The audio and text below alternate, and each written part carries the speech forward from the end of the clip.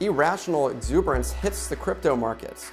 Large Coinbase wires are getting frozen, and Merrill Lynch bans clients from purchasing Bitcoin investments.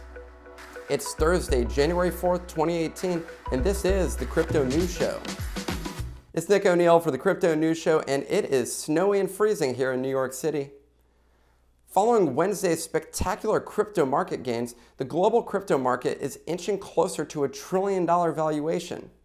All logic and math has completely gone out the window, and now we are witnessing a market exclusively fueled by greed. Need proof? Cardano, a company you likely have never heard of, is now worth more than SpaceX.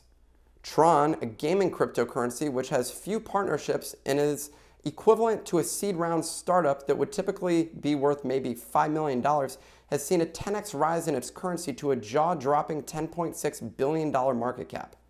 Unfortunately, many of these currency holders will be in for a rude awakening when they try to pull their money out of the accounts.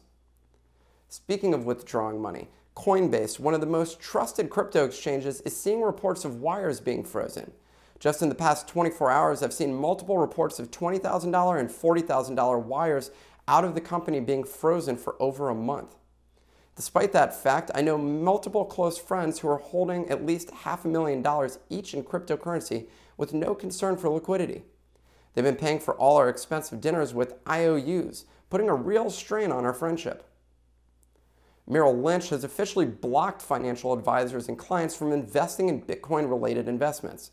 It's not completely unsurprising considering that terrorists can transfer money through anonymous cryptocurrencies, exchange them into Bitcoin, and then attempt to withdraw them into US dollars, effectively cleaning the money. I'd look for more banks to place restrictions on most cryptocurrencies and instead create their own crypto markets, as we've seen signs of from Goldman Sachs.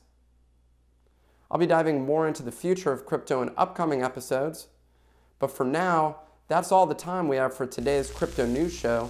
Have a great day.